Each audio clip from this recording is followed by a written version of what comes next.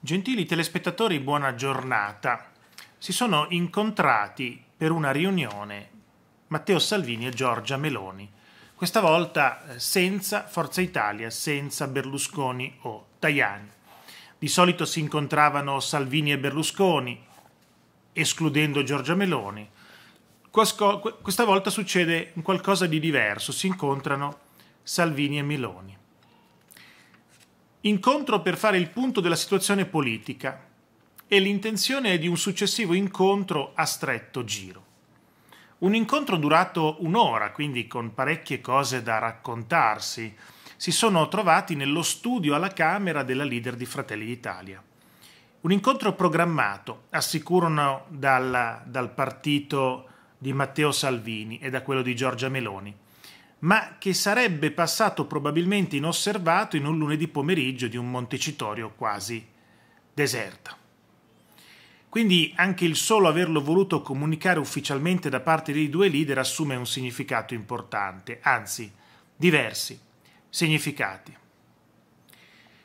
I due danno un segnale che le ricostruzioni su divisioni, lite, rivalità, dissensi sono sbagliate in realtà non sono sbagliate, ci sono e come.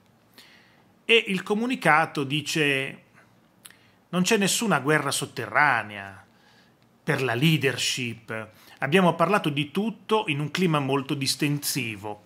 Ci rivedremo presto, fanno sapere entrambi. Beh, non, hanno, non c'è nessuna eh, lotta per la leadership, non è vero. Ieri Matteo Salvini ha detto eh, fra un anno governerà il centrodestra con a capo la Lega, io Premier e Giorgia Meloni intervistata ha detto Salvini Premier, decideranno gli italiani. Insomma, eh, a me non la raccontano, però può essere che il popolino crede a queste cose, io no.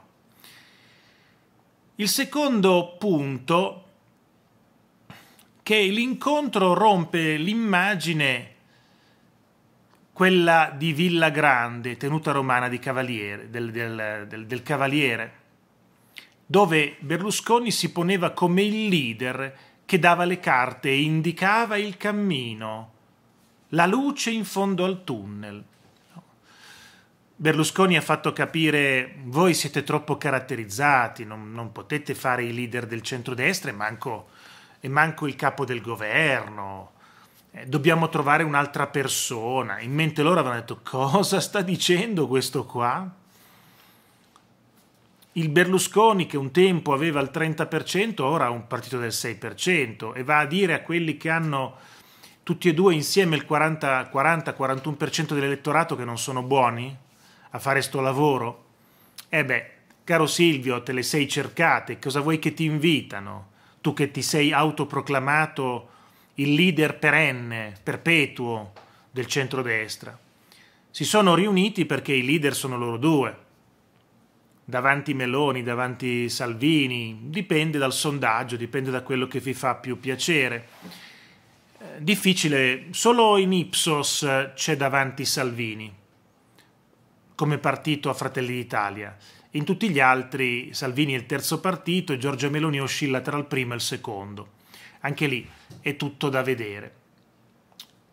Da Forza Italia dicono ma non c'è nulla di strano.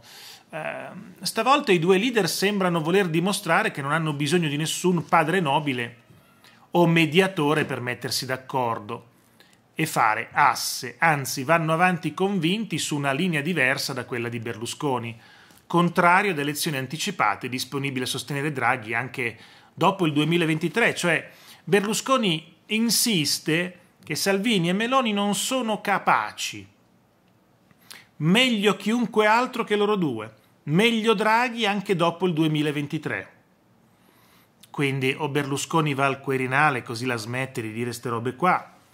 Se ce lo mannate al Quirinale è un conto, ma governare eventualmente l'Italia con Berlusconi e Forza Italia che rema contro non è propriamente un qualcosa di idilliaco. Naturalmente Salvini e Meloni non hanno bisogno di Berlusconi che gli indica la luce in fondo al tunnel. Mentre quindi Salvini e Meloni ipotizzano proprio, forse, tutti e due le elezioni anticipate. Eh, Salvini sarebbe dell'idea di aspettare quei frutti che diceva Giorgetti, no? Beh, siamo entrati nel governo, dobbiamo raccogliere i frutti, adesso arrivano. Quando? Eh, arrivano.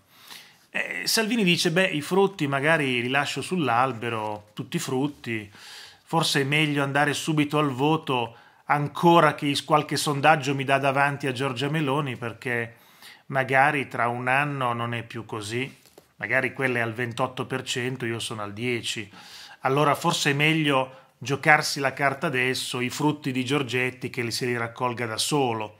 No? Tu stai lì, Giorgetti, poi aspetta che sono maturi sull'albero. Salvini e Meloni negano di aver organizzato l'incontro per dare un segnale a Berlusconi. Ma se Berlusconi non l'ha capito fino adesso, vuole che questi due qua lo mandano al Quirinale e continua a dirgli che non sono buoni a fare niente. In politica non mi sembra che Berlusconi sia proprio lucido in questo momento. Ecco, quindi eh, fanno bene ad escluderlo a questo punto. Poi se avranno voglia proveranno a mandarlo al Quirinale, se no voteranno qualcun altro realmente. In Forza Italia no, mostrano però irritazione, dice nulla di strano, vorranno far vedere che vanno d'accordo. Eh, Meloni e Salvini assicurano anzi che presto si vedranno tutti insieme anche in settimana se le agende lo permetteranno, ma confessano che le ultime mosse del Cavaliere non sono piaciute. Eh, eh insomma. Certo che Berlusconi e Giorgetti potrebbero far comunella, eh?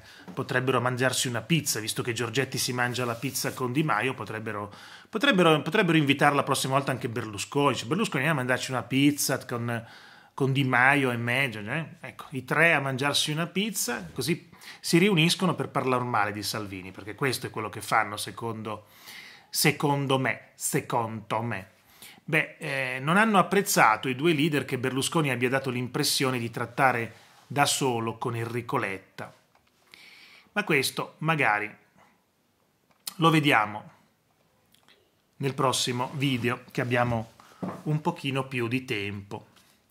Io vi ringrazio per avermi ascoltato, ci vediamo al prossimo video, grazie, abbiamo sorpassato, superato i 142.000 iscritti, più o meno sono mille iscritti a settimana. Mille è la differenza tra quelli che si scrivono e quelli che si cancellano. Eh? Quindi dopo, ogni settimana il saldo è di solito mille in più, tra quelli magari sono 1100 che si scrivono, 100 che si cancellano e più o meno quello è, mille alla settimana. Io vi ringrazio per avermi ascoltato e vi auguro buon proseguimento di giornata.